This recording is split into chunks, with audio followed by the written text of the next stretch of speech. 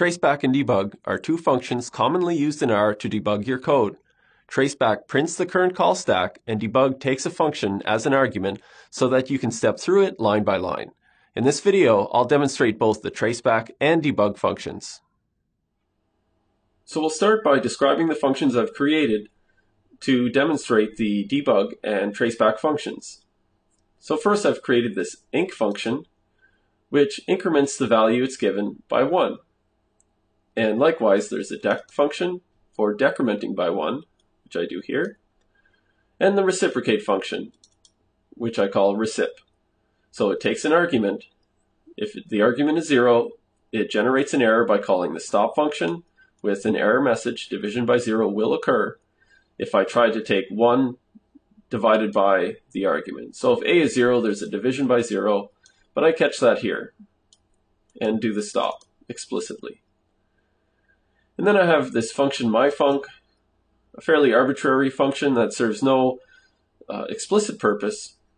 I just increment the value it's given by 1, take its reciprocal, and then likewise I do a decrement by 1 on it, take the reciprocal. So I have these two variables x and y to hold the values, and then I multiply them. And that result is what I get for my myfunc. So what I'm going to do is demonstrate certain values of myfunc. There's actually two of them that will generate an error or will get this division by zero problem. So first I'll run the code to make sure my functions are in the global environment. And I'll clear that. And then I'll call myfunc on 10. And that gives me a result. Everything works. But if I give myfunc 1, in this case, the decrement by a will turn this 1 to 0, and then it will try to take the reciprocal. And we'll get this division by 0 will occur. Likewise, if I give it minus 1, I have a problem on this line of code, and I'll get the same error. Now if I want to see exactly where, or exactly the path taken through the functions, I, I use a traceback, and that'll give me the hierarchy of calls. In this case, I call myfunc, then it calls the reciprocal on the increment of a, and then it calls the stop division by zero will occur. So here's where the error occurred on this line. So if I go see the number 13 here refers to the line number. So I get this if a is equal to zero, stop. So I know where it happened and the calls that preceded this error. So I know if I increment a by 1 and then take its reciprocal, it's going to generate this error. So traceback does give me some information. Another thing I can do, if I want to know the exact line that fails on, I can do a debug. So debug takes a function as an argument. In this case, I want to use myfunc, and then hit enter, and then the next time I run myfunc, it will stop.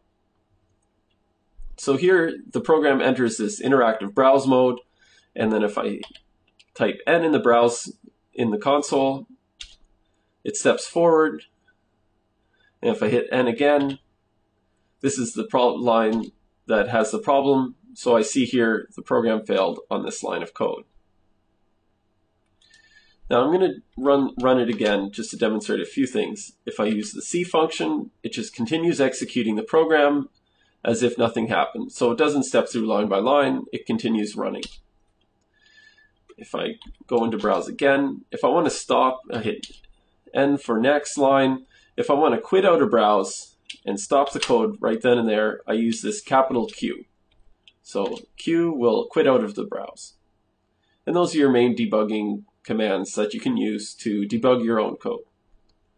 And one last thing, to stop debugging, I can run undebug on myfunc, and this will stop it from debugging. So if I run myfunc again, it will just run normally.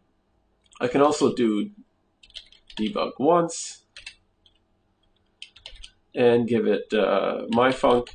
So the next time myfunc is run, it will debug, but then it will be run back in normal mode. So I can do my myfunc say we'll give it 10. This will in, enter the interactive browse mode. I go next, next, and step through. At any point, I can put a variable in the browse, and it will give its current value. And if I hit next again, that completes the function and the program is finished. Now if I run myfunc a second time, it runs normally because debug once only puts it into the interactive browse mode the first time it's run.